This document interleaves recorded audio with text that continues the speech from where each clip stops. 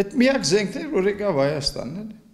Իշխանական падգամավոր Գագիկ Մելքոնյանը նկատի ունի պաշտպանության նախկին նախարար Արշակ Կարապետյանին ռուս պաշտոնակցի Շոյգուի նվիրած դաշույնը։ Այդ խորհրդանշական նվերից բացի 44 օրյա պատերազմից հետո այլ զենք Ռուսաստանից Հայաստան չի մտել, պնդում է խորհրդարանի անվտանգության ու պաշտպանության հանձնաժողովի անդամը։ Հիմա արդեն մենք եկանք ասանք այն պահին, որ մեր երկիրը ամենածանր վիճակում է եւ Ոչ հապքն ա մեզ օգնում, ոչ էլ Ռուսաստանն ա մեզ օգնում։ Շոյգուն հայ պաշտոնակցին դաշույնը նվիրեց մեկ տարի առաջ հայտարարելով, թե կարող ենք համարել Հայաստանին սպառազինության մատակարարման գործընթացը մեկնարկել է։ Ինչ է փոխվել, Ռուսաստանն ինչու խոստումը չի կատարում։ Իշխանական падգամավորն ուղիղ չի պատասխանում, բայց զայրանում է, որ Փաշինյանի կառավարությանն են մեղադրում։ Հարգելիս, եթե մարդը քեզ զենք չի տալիս,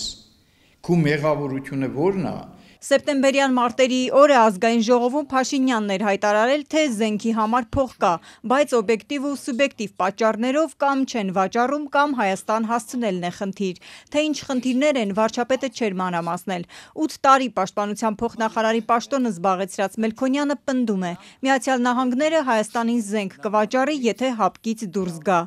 Նախապայմանը, այո, իրանք ուզում են, որ մենք հապկից դուրս գանք։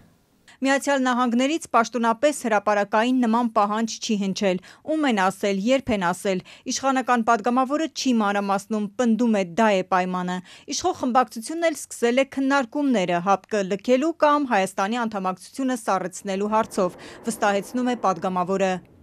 Խմբակցությունում նմանատիպ հարցեր առաջարկել են, քննարկվում են ու քննարկվելու են վերջնական արդյունքը դեռ մենք չենք ասել Որքանով է իրատեսական արևմուտքի հետ ռազմական համագործակցությունը հապկի կազմում լինելուն զուգահեռ։ Այս հարցին կալանավայրից արձագանքել է պաշտպանության նախկին նախարար Դավիթ Տոնոյանը։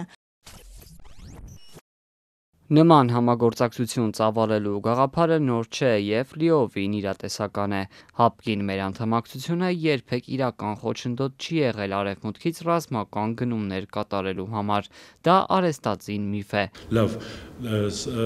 սահմանների կահավորումը ումից էր կախված, դա ինչի չեն արել։ Դա դա ումից էր կախված, դա Ռուսաստանից էր կախված, թե Օրդանանից էր կախված։ Եթե Փաշինյանը ցանկանար Հայաստանը պաշտպաներ այնքան ամուր, որքան իր իշխանությունը կգտներ զենք գնելու ուղիները, քննադատում է պաշտպանության նախկին փոխնախարար հանրապետական Արտակ Զաքարյանը։ Ռուսաստանը զենքի հիմնական մատակարարն է, բայց ոչ միակը, ասում է նախկին պաշտոնյան։ Հայաստանի զենքի մատակարար երկրների ցանկը բավականին բազմազան է։ Մասնավորապես զենք է ձեռք բերվել Սլովակիայից, Չեխիայից, Լեհաստանից, Ուկրաինայից, Բելորուսից, Հորդանանից, Հնդկաստանից, Չինաստանից եւ այլ էլի երկրներից, որոնց հետ Հայաստանը ունեցել է տարբեր ձևաչափերում համագործակցություն այլ աղբյուրներից զենք գնելու համար հապկը լքելու կարիք չկա։ Հապկի դերակատարումը իշխանականները չեն պատկերացնում, Մելքոնյանին հակադարձում է Զաքարյանը։ Հայաստանի Հանրապետությունը եթե ունի վստահելի իշխանություն, իսկ զենքի շուկան առաջներթին վստահելիության հենքի վրա է, եւ եթե վարչապետ կոչվածը ազգային ժողովի ամբիոնից հայտարարում է, որ զենքի մատակարարման խնդրեմ ունեն, դա առաջին հերթին խոսում է իր նկատմամբ եղած անվստահության մասին։ Եթե Միացյալ Նահանգները ցանկանա զենք վաճառել, ՀԱՊԿ-ի անդամակցությունը խոչընդոտ չի լինի։ Այն մեկնաբանությունները, թե այդ զենքը կարող է հայտնվել Հայաստանի դաշնակից Ռուսաստանի ձեռքին, անհիմն են։ Բոլոր դեպքերում էլ կարող է հայտնվել։ Ոչ մի խոչընդոտ չկա, եթե Միացյալ Նահանգները ցանկանում են Հայաստանին զենք տալ, ապա ՀԱՊԿ-ի անդամակցությունը բոլորովին չի խանգարելու։ 90-ականներին էլ Հայաստանը Ռուսաստանից բացի այլ երկրներից է զենք ձեռք բերել։ Հիմա էլ պետք է բանակցեին ու ցանկացած հնարավորություն գործի դնելով լուծեին սպառազինության հարցը։ Վերջին հարցազրույցներում պնդում է Հայ ազգային կոնգրեսի փոխնախագահ Լևոն Զուրաբյանը, հիշեցնելով 90-ականներին Չինաստանից հրթիռային համակարգեր են գնել, ինչը Ռուսաստանին ու նահանգներին այնքան էլ դուր չի եկել, բայց ասում է Հայաստանի անվտանգությունն էր պարտադրում։ Երկրորդ նախագահ Ռոբերտ Քոչարյանն էլ այսօրվա ասուլիսում հորդորել է չհավ հավատալ Փաշինյանի խոսքերին։ Եվ մի հավատացեք, որ հնարավոր չի զենք առնել։ Մենք զենք գնում էինք եւ Ռուսաստանից, եւ Եվրոպայից,